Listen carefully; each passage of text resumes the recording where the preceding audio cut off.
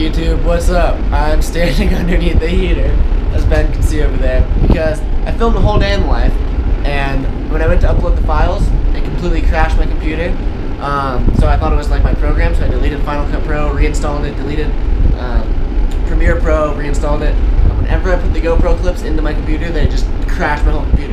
And my deadline, I upload daily at 12 p.m., and it is currently 11.57 p.m. I'm gonna miss this deadline, do me a favor. And the reason that I have a deadline is because the way YouTube works, if you miss a second, then like if you miss an upload date, then you'll get less emails to subscribers about your um, oh my god, my neck hurts about your videos. So you get less views, which equals less money. So I'm losing money right now, guys. So do me a huge favor and like this video because that'll help me go back up in the YouTube ranks, which will make me more money.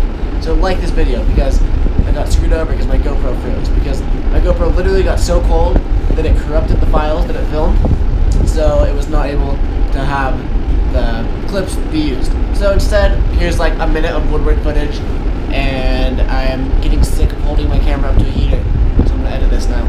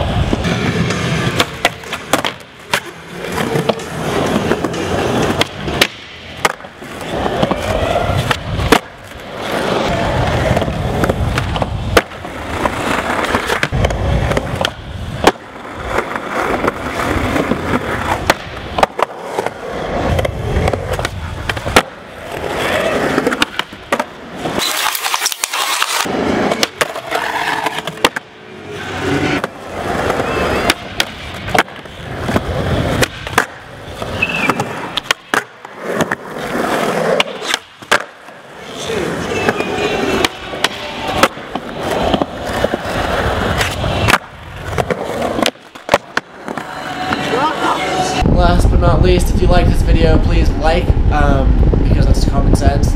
Uh, yeah, and like I said, I got screwed over and my all my footage got deleted because my GoPro literally got.